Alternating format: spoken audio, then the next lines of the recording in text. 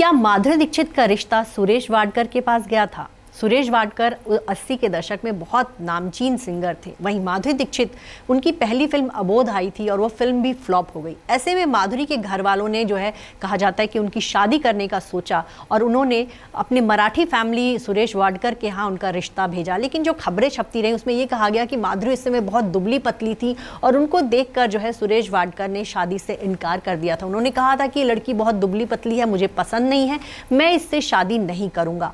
लेकिन इसकी सच्चाई क्या है? इसका खुलासा हाल ही में सुरेश वाडकर ने किया।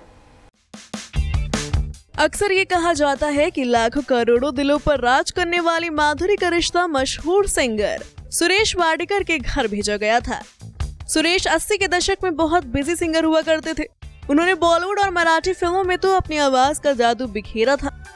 माधुरी एक महाराष्ट्रियन फैमिली से आती है। उनके पेरेंट्स चाहते थे कि माधुरी की एक अच्छे मराठी परिवार में शादी हो जाए। और वह घर परिवार में बिज़ी हो जाएँ। साल उन्नीस सौ चौरासी में जब माधुरी की पहली फ़िल्म अबोध रिलीज़ हुई थी, तभी उनके माता पिता उन्हें शादी कर सेटल करने की सोचने लगे। माधुरी भी इसके लिए मान गई, क्योंकि उनकी पहली फ़िल्म खास कमाल नहीं कर सकी। माधुरी के माता पिता ने उनके लिए लड़के देखने शुरू किए, और फिर ऐसे में माधुरी की शादी का रिश्ता भेजा गया सिंगर सुरेश वाडेकर के पास।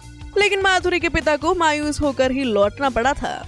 क्योंकि माधुरी से उम्र में 12 साल बड़े सुरेश ने माधुरी की तस्वीर देख उन्हें रिजेक्ट कर दिया था। उनका कहना था कि वो बहुत ज़्यादा पतली है। इस घटना ने माधुरी के दिल को तोड़ कर रख दिया था।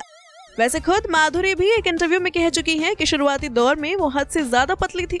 लेकिन आज हम आपको बता रहे हैं इस वायरल खबर की सच्चाई। कुछ दिन पहले ही सुरेश वाडकर ने एक इंटरव्यू दिया था और इस पूरी कहानी को झुटला दिया था। उन्होंने इंटरव्यू में कहा, ऐसा है ना किसी दिन माधुरी दीक्षित मुझे रास्ते में घेर कर दो झापड़ मारने वाली है, क्योंकि उस खबर की कहानी में सच्चाई क्या है, उसको बिना जाने ऐसी खबर उड़ा देना बेतुकी बात है। अगर उन जैसी खूबसूरत लड़की का रिश्ता मेरे लिए आता तो मैं सपने में भी मना नहीं करता। माधुरी दीक्षित को कौन मना कर सकता है भला?